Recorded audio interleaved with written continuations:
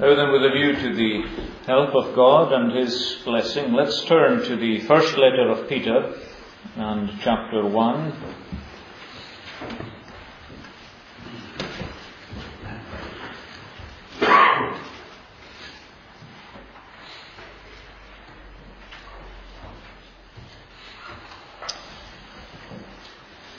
And at verse 17. 1 Peter chapter 1 verse 17. And if you call on the Father, who without partiality judges according to each one's work, conduct yourselves throughout the time of your stay here in fear, knowing that you are not redeemed with corruptible things like silver or gold, from the aimless conduct received by tradition from your fathers but with the precious blood of Christ, as of a lamb without blemish and without spot. Especially verse 17.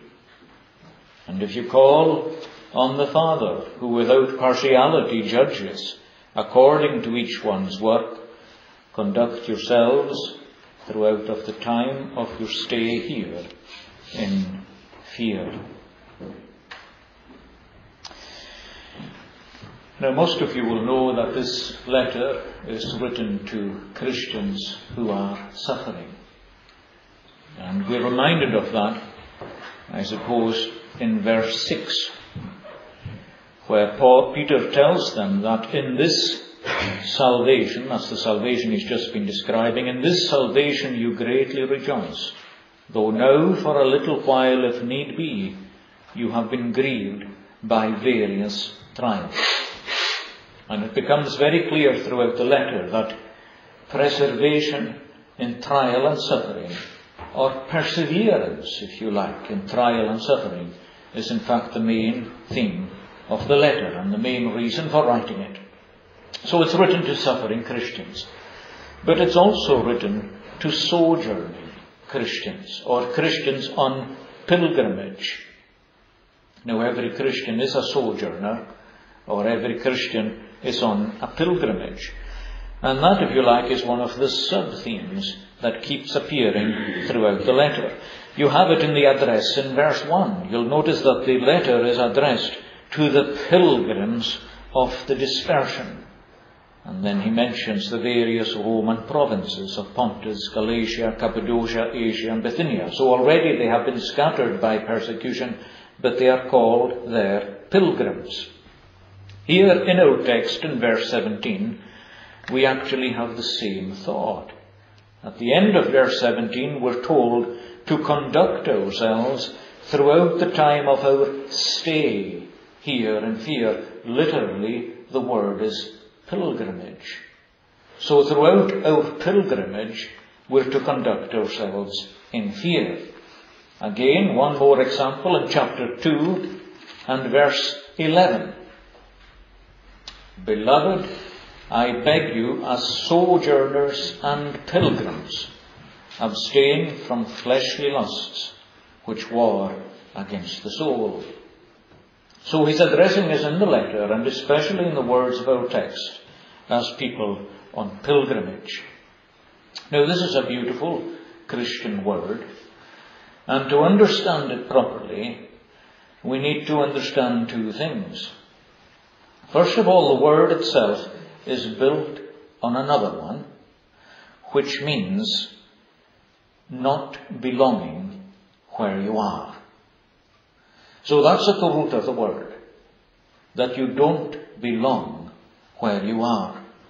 Now that of course is true of every Christian. Paul reminds us that our citizenship is in heaven, not on the earth, but in heaven. Some people say that the Christian has a dual citizenship, a citizenship on the earth and a citizenship on heaven. That is not true. You have one passport, you belong to one kingdom, you have one king and one Lord, and that is the Lord Jesus Christ. So your citizenship is in heaven. And that is why this word pilgrim is always associated in the Bible with the word stranger. You'll find the expression constantly used in the scriptures strangers and pilgrims. And the word pilgrim is very closely related to this word stranger. And the idea is that you don't belong. And how true, friends, that is of ourselves. And our trials make us feel it. There's something in our trials that lift us up out of this world and bring us directly to God. That's one of the purposes God sends them. Perhaps we become comfortable in the world and we forget the world to which we really belong. We think of ourselves too much on earth and become too comfortable on earth. So God sends a trial to lift us heavenward, to remember where our citizenship is, to remember who our God is, to serve and to worship Him better. So if now, at this particular time in your life, you feel you don't belong in the world, well, that's a good thing, because you don't. Your citizenship is elsewhere. So that's the word that this word is built on. But this word pilgrim itself means to pass through. And the whole thing then comes together. Because you don't belong, but you are passing through.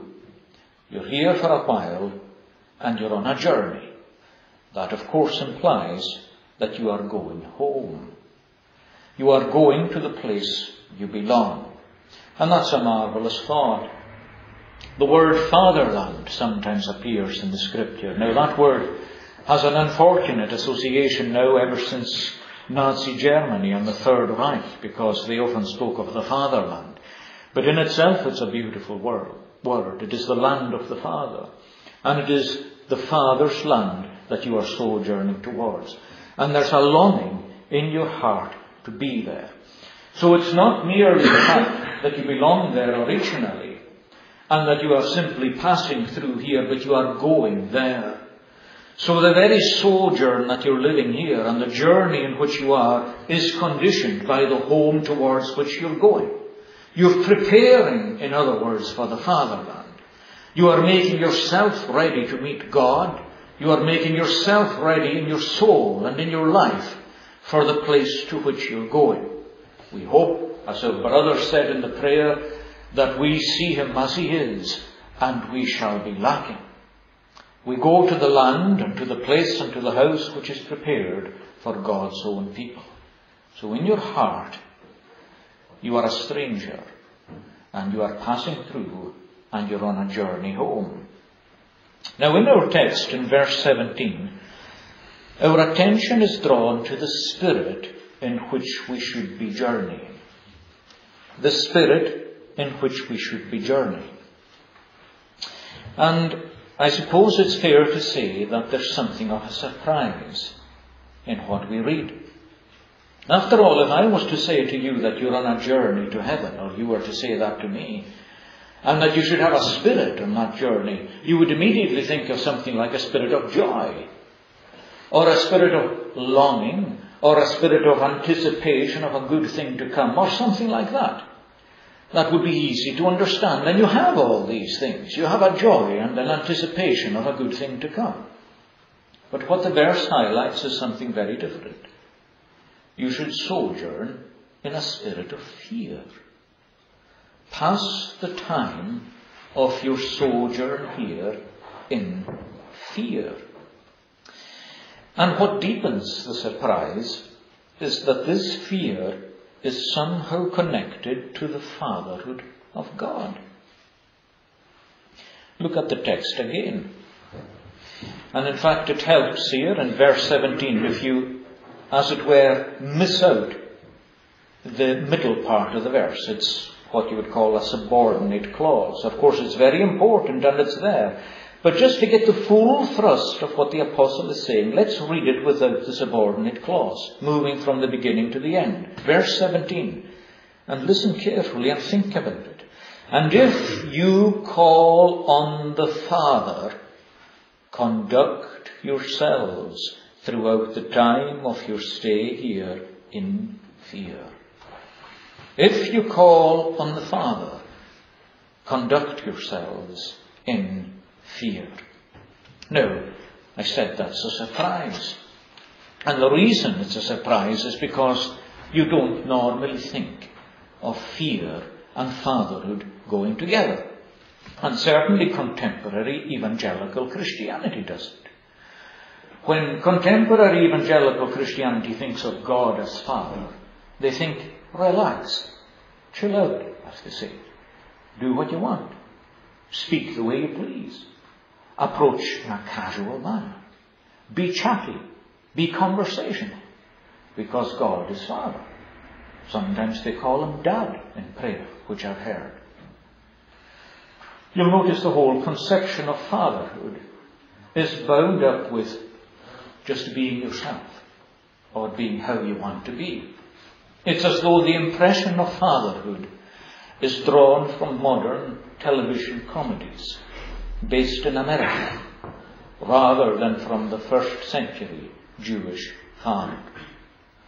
What does it mean for God to be your father and God to be mine?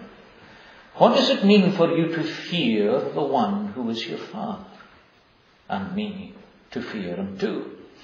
Obviously, that whole conception tells us that there's something about fatherhood that people don't understand, and there's something about fear that people don't understand either. Let's look by the grace of God at both fatherhood and fear, so that we will conduct ourselves in our sojourn the way that God wants us to conduct ourselves. First of all, then, God our Father. If you call on the Father. Now, when you think of your Father, I hope you think of good things. Now, that sadly may not always be the case for different reasons. There are many, many people in the country today who don't know what it is to have a father at all. And not because their fathers died before they knew them, but because their fathers never bothered with them. Their fathers perhaps, perhaps ran away from the home before they even came out of the womb. Perhaps their fathers were stepfathers, and not all stepfathers are like this, of course, but stepfathers who abused them and treated them badly. But if you've been favoured or privileged, you won't think like that. And your thoughts of your father will be good thoughts. First of all, you owe your father your life. A father generates a child. We've all been generated by a father. But that, of course, is true of everybody. Whether you're a Christian or not, you've been generated by a father. And in that sense, of course, we're told that God is the father of all. Even in Hebrews chapter 12, we're reminded that God is the father of spirits. In the sense that He created absolutely everyone, man, woman, and child. He is the originator or the generator of every single person. In that sense, He is the Father of us all. But of course, when the Bible talks about God our Father, it doesn't mean God our Creator, or the God who gave us birth, but the God who gave us rebirth. The God who has become our Father in relationship by adoption.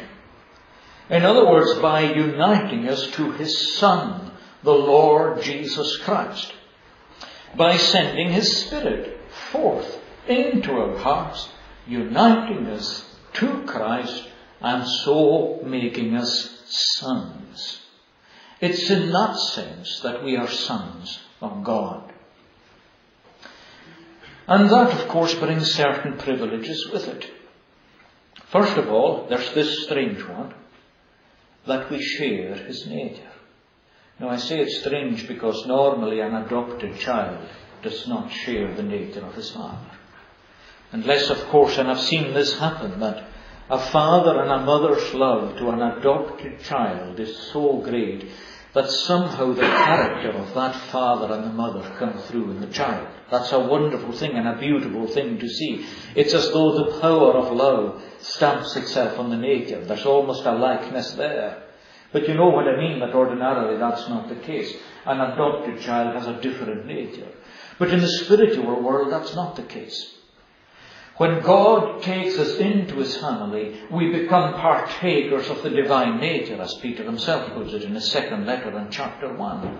We become truly children of God, and we become holy as God is holy we become his children. We share his nature. Just as you recognize a child on his father or his mother, so you recognize a Christian, because the nature of God is in them. Be ye holy, he says here, for I am holy. And then again, as well as sharing his nature, if you are truly a son of God, you are able to enter his presence with boldness, with a sure acceptance. And you can call him indeed your Father. You also have the privilege of enjoying his protection. Because I remember myself on one or two occasions in life how important it was to have my father with me at certain times and in certain situations. And to have God as your father means that you can call upon him for his protection too, the security that he gives you. Then again, you have the knowledge that his love is in your heart and that you are bound up in his. As Isaiah puts it, our names are before him continually, engraven on the palms of his hands. And you are also able to participate in the fellowship of the rest of the family. Where the image of your father is stamped on any other man, woman, or child, there is a family member. There is a brother, and there is a sister. And especially, you have the fellowship of the elder brother in the family, who is the Lord Jesus Christ Himself. Now, all these things are the privileges which flow from adoption. You enjoy them all. And you say to yourself, well, what place is there for fear in that? Well, there must be plenty. Because the Bible is full of it. Go home and look up a concordance and look up the word fear, and you'll be staggered at how often it appears. Look up the commandment to fear God, and you'll be staggered how often it appears. The commandment to love God appears once or twice. The commandment to fear Him appears scores of times. Scores of times. In a positive, positive way.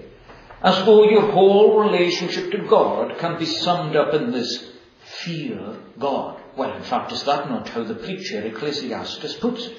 Let us hear, he says, the conclusion of the whole matter at the end of his book. Let us hear the conclusion of the whole matter. Fear God and keep his commandments, for that is the sum and substance of our life. Fear God. And so often that word fear and fearing God is used as a substitutionary expression for the whole of religion. Isaac feared God. Or David had the fear of God in his heart. It's as though it sums up what a believer is actually like. Now you may say, well that refers to the Old Testament, but it does not refer to the Old Testament. The fear of God is put just as much before us in the New Testament scriptures. Didn't the Lord Jesus Christ tell the disciples when they were going out on the ministry not to fear man who can kill your body, but fear the one who is able to cast both body and soul into hell? Notice how he puts the fear of God in that sense into the heart of those who are to be preachers of the gospel. Let not your preaching, your conduct, be governed by the fear of man, but let it be governed by the fear of God, Christ said. Again and again, those who profess the name of Christ are told to remember that it is a fearful thing to fall into the hands of the living God, to remember that our God remains a consuming fire. So fear definitely belongs to sonship and fatherhood. And that takes us to what fear is in the first place then. What is it to fear something? What is it to fear God? Now there's a way in which fear is such an obvious thing that it's difficult to break it down. But everything in a way can be broken down a bit further. Take something like the holiness of God.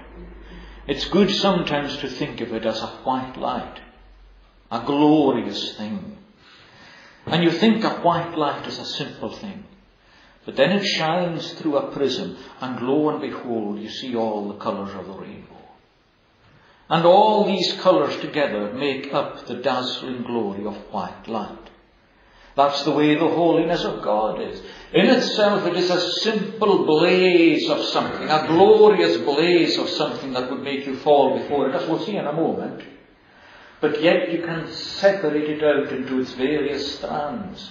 There is justice, there is mercy, there is grace, there is righteousness. All the attributes of God taken together form the blaze of white light. Now fear is a bit like that. You would say it was a primitive emotion. Uh, colours are like that too. Every child will know that there are primary colours. And then if you mix these primary colours together, you get what's called secondary colours. Now you would say that fear was a primary colour. But look at it.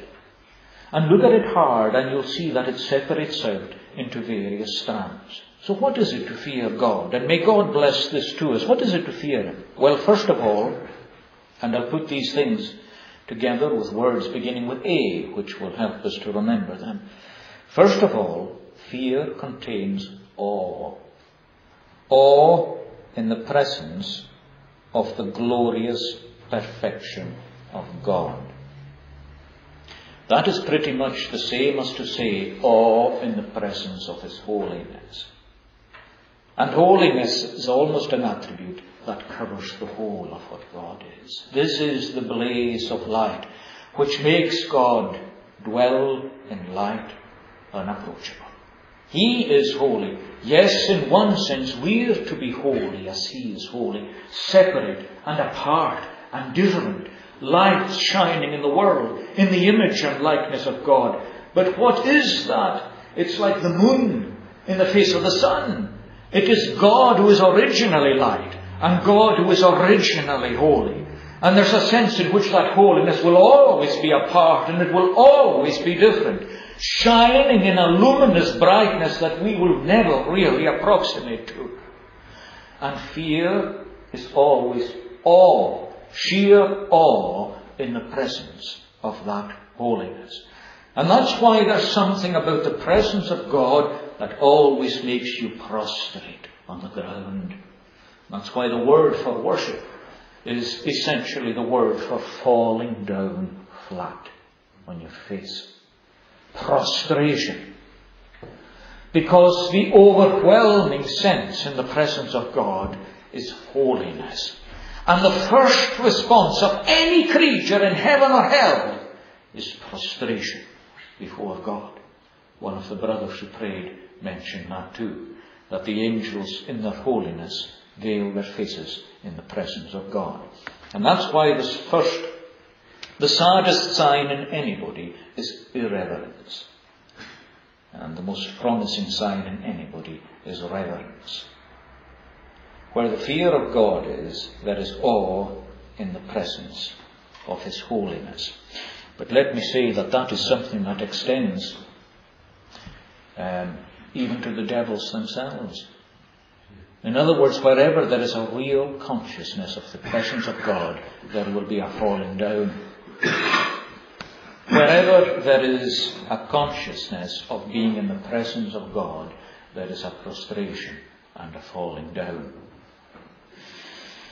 But the Christian doesn't have the awe that the devil has or the fallen angels have. The Christians have something more than that. The true believer does. And if you're in Christ, you have this. You don't just have awe in the presence of His holiness, you, had a, you have an admiration of His holiness. The devils don't admire God. They are in awe, but they don't admire. But you, by grace, admire. By that I mean you see His holiness as a beautiful thing. A beautiful thing. A thing on the one hand that makes you stand at a distance. A thing on the other hand that makes you come near. It's almost like Moses when he saw the bush that burned and said, I will now draw near. I will turn aside and see this great wonder. Now God, of course, then told him not to come too near.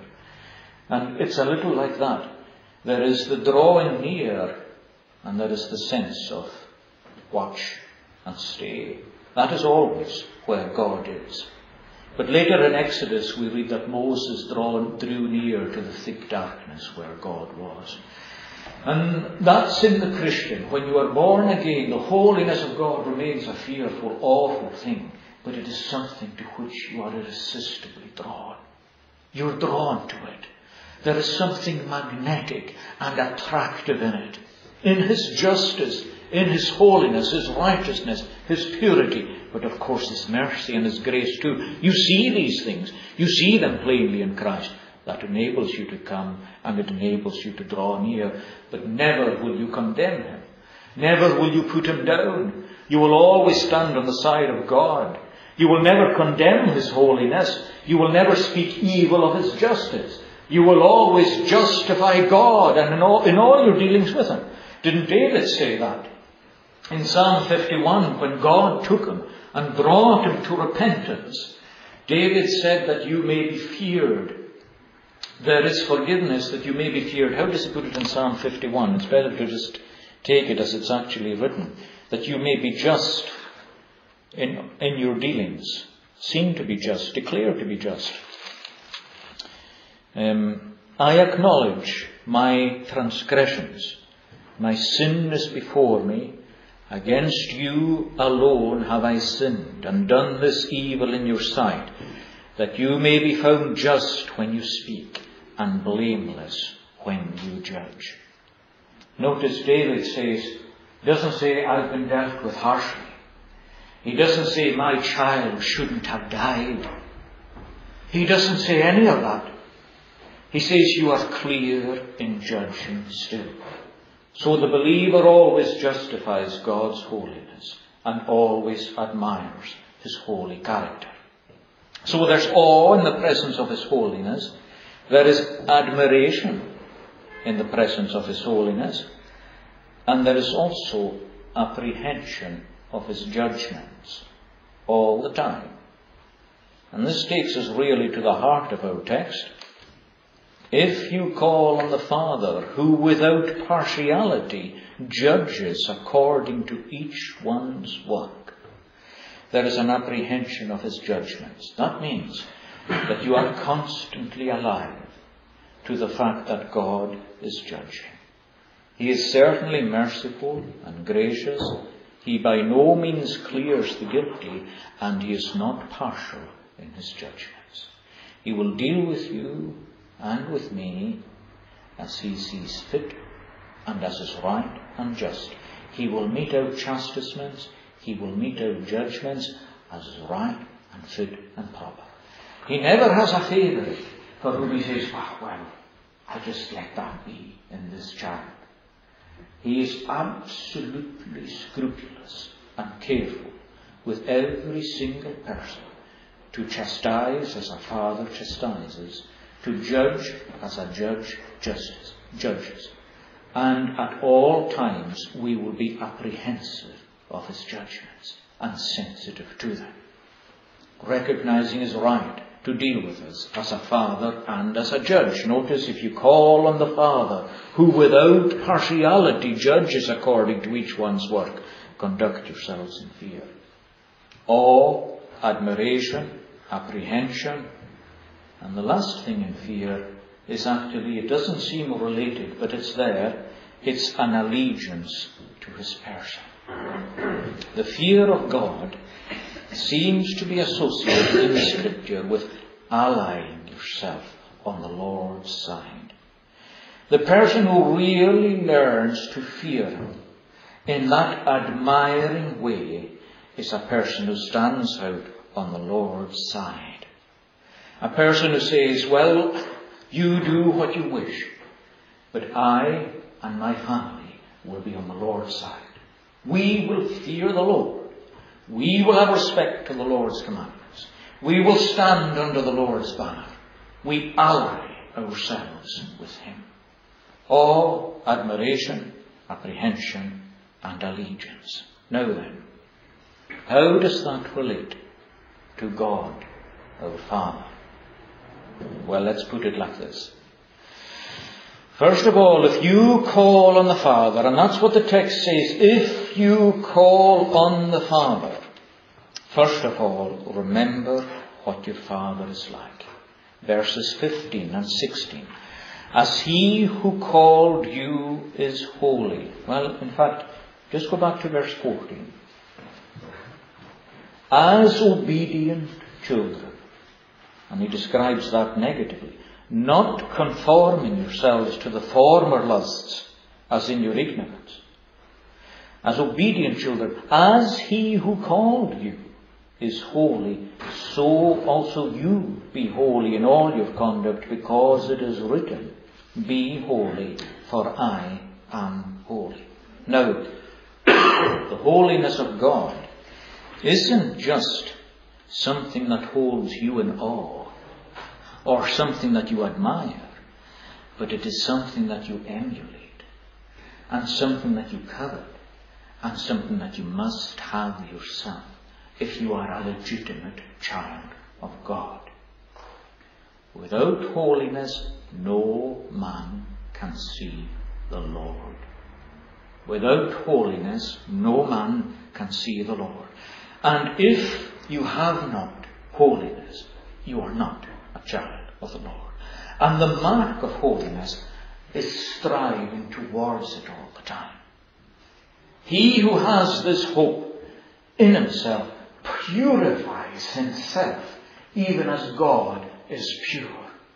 And this child of God is recognized by the very desire to be holy as God is holy. There's a lamentation when there's a falling short of it. Now, how different that is from a contemporary attitude which says that God doesn't really care about commandments. God doesn't really care about holiness. He's not concerned with obedience. The contrary is true. He is absolutely concerned with obedience, as our brother prayed. Look, for example, if you just go forward a couple of letters to 1 John and chapter 2.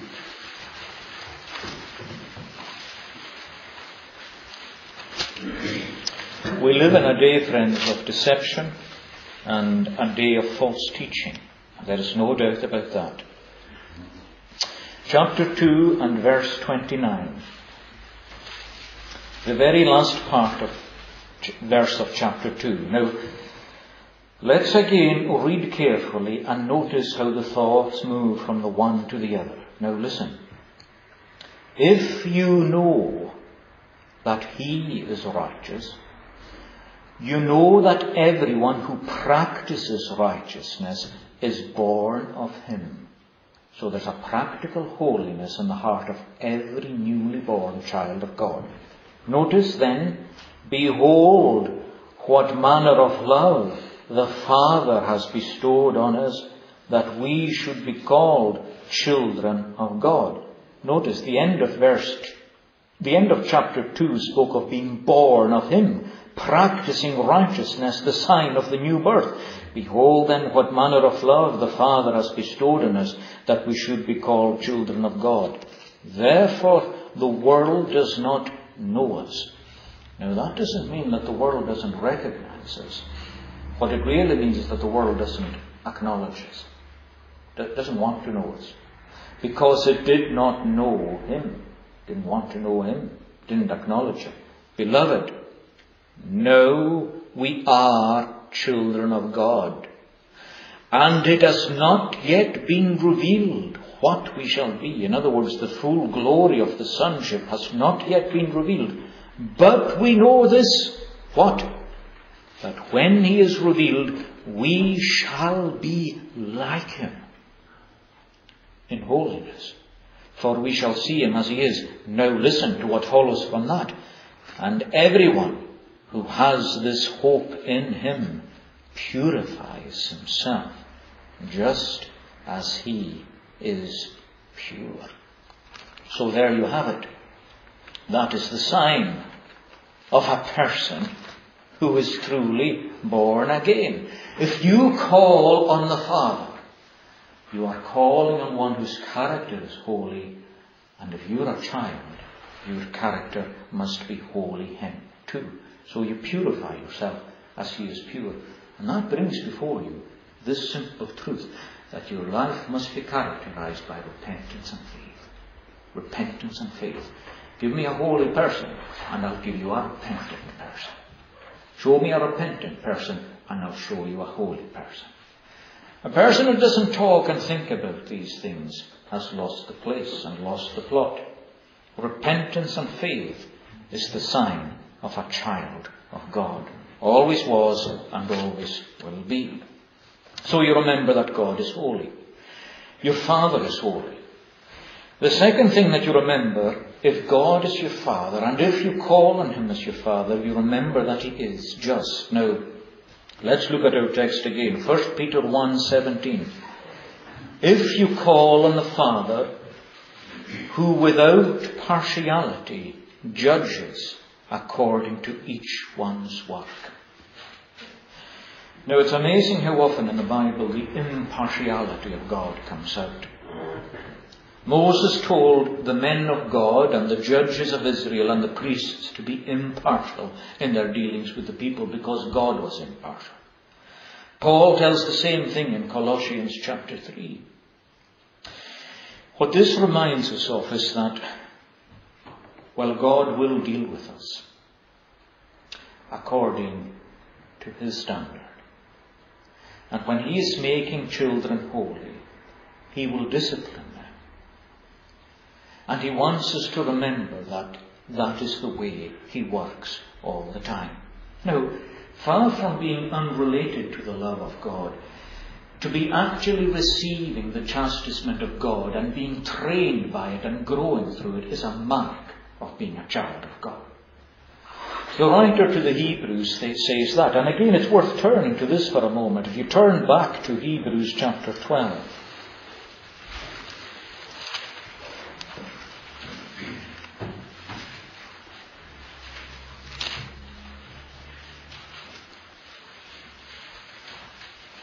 Verse 5. You have forgotten the exhortation which speaks to you as to sons. My sons, do not despise the chastening of the Lord, nor be discouraged when you are rebuked by him. For whom the Lord loves, he chastens and scourges every son. Now, notice that word, scourging. That's, if you like, a whipping. Scourges every son, if needful, if needful whom he receives. If you endure chastening, God deals with you as with sons. For what son is there whom a father does not chasten? But if you are without chastening, of which all true children have become partakers, then you are illegitimate and not true sons. Furthermore, we have had human fathers who corrected us and we paid them respect. Shall we not much more readily be in subjection to the Father of spirits and live.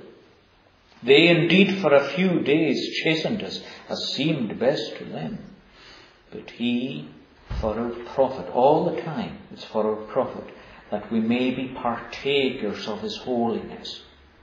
Now no chastening seems to be joyful for the present, but painful.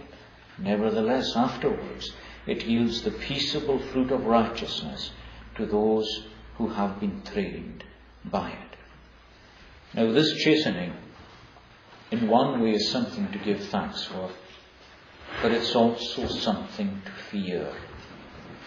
And you know, again, it's a mark of a Christian to really be in fear of God's chastisement. And his chastisement can be severe. Remember the Corinthian believers who were falling dead, literally, because of the abuse of the Lord's Supper in Corinth. Now, some people say, well, you see, churches can be like that, so it doesn't matter really how churches are in the sight of God. We just go with the flow and we stick with it. Well, that's not the case. Paul says to the Thessalonians, he says, that we are to mark those who do not walk in accordance with the tradition, he says, which we left you and withdraw yourselves from them, he says. Withdraw yourselves from them. In other words, you know, I've, I've had people constantly say this to me down through the years. Look, they say at the churches in the Revelation, God never says to leave them, or He never said to the church in Corinth for people to leave them. No, that's because He gave them the apostolic correction. If they didn't accept the apostolic collection, they were to withdraw themselves. You see the importance of that. It's fair enough if people stray and go wrong. But when the Word of God is brought before them and they insist on disobedience from it, then the apostolic directive is to withdraw yourselves from those who do not accept apostolic correction. I mean, even the Westminster Confession of Faith teaches us that churches can so degenerate as to be synagogues of Satan, where the gospel itself is withdrawn. And are we supposed to stick to that? Do we stick to it because we always stuck to it? Do we stick to that because it has a name with which we associate it? No. The same is sadly true today. I never thought in my lifetime I would hear people demanding our association to ministers who have flagrantly broken their vows. Ministers who come short, yes. Ministers have always come short. And they would always admit that they come short. But you know, they took their position and they were admitted into office on a series of vows to maintain teaching, worship, and Presbyterian government. And they rip that up and they say, Trust me, I won't bring it in here. We trusted you when you said you would keep teaching government and worship. So on what basis do we trust a promise that you won't bring it in here? Because it's through that mass breaking of promise that it's been brought in everywhere. The floodgates are open. And it's been done in a church we thought it would never be done in. And our allegiance is still expected? Our allegiance is still demanded? No. If the apostolic testimony and word is put to the side, then we will put ourselves in a place where that apostolic word is maintained in doctrine, worship, and government. So, yes, a chastisement comes. But did they accept the chastisement? That's the acid test. And the sign of accepting chastisement is repentance and coming back to the Word of God. When that happens, certainly, all the Lord's people may be together as one. So this chastisement is something to fear. And you know, a fear of sin is a true part of the fear of God. A healthy fear of sin and a fear of its consequences. I want you to notice that verse we read in Psalm 119. Listen to it. David says, My flesh trembles for fear of you, and I am afraid of your judgments. Can you say that? Can I say that tonight? That my flesh trembles for fear of you, and I am afraid of your judgments. David, a child of God. Yet that is how he speaks of God. Now, the last thing I want to say is this that as well as this fear of God, you'll notice that the motive behind it is gratitude and love. Inside this fear throbs a heart of love towards God. And notice how the apostle brings this motive in. And this comes in when you read verses 18 and 19 after verse 17. Let's do that quickly, our time is gone. If you call on the Father, who without partiality judges according to each one's work, conduct yourselves throughout the time of your stay here in fear, knowing that you were not redeemed with corruptible things like silver or gold. Verse 19, but with the precious blood of Christ, as of a lamb without blemish and without spot. This is almost a way of saying, yes, you ought to fear this God and to fear his chastisement. Because of who he is as a faithful judge all the time, without respecting persons, but also as one who has brought you into this special relationship with himself at the cost of the blood of his own Son. If you call him Father, think how privileged you are to worship and to serve him. How privileged you are to obey him. Because that would be absolutely impossible had he not given his own Son to die on your behalf. A place in his household and the privilege of serving him is possible because of what he did on your behalf. That immediately animates the fear with love for God. It may be a strange spice, as the Puritans said, fear and love, but that's the strange spice in the Christian's heart. And the flame of it is lit by God. It's not replicated elsewhere in the world. Uh, remember, like the spice that was used in the holy anointing oil that was used on Aaron, it wasn't to be replicated anywhere else. The incense that was to be burned, no one in Israel was to copy that fragrance. It was absolutely unique. So was the fear and the love in the heart of the Christian.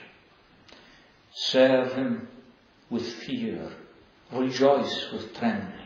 Kiss the Son, lest you perish in his ire. Only the Christian understands that. Malachi 1 verse 7. If I am a father, where is my honour and where is my reverence? Let's remember that. Not the father of contemporary evangelicalism, but the Jewish father who commanded the respect and obedience of his family. So on our sojourn, let's call him our Father. Let's do that. But let's honour him with our respect. Let us pray.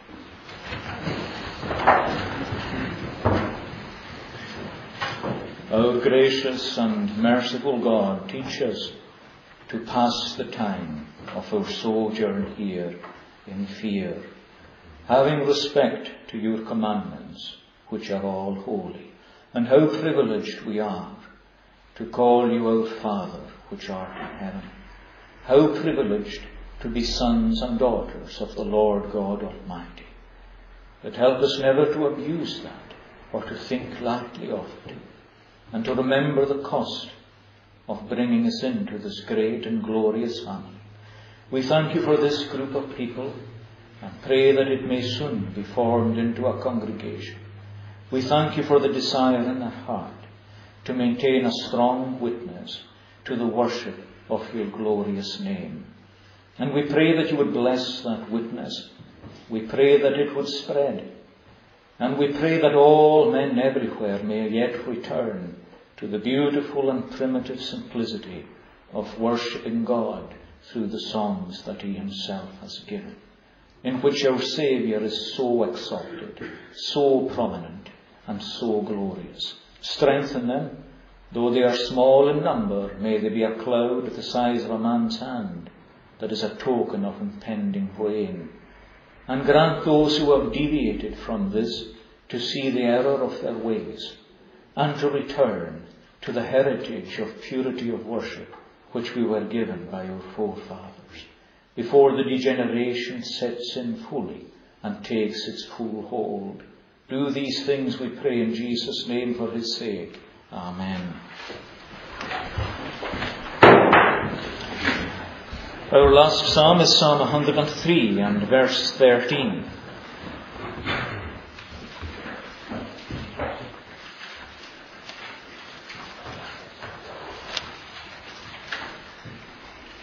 Such pity as a father hath unto his children dear, like pity shows the Lord to such as worship him in fear.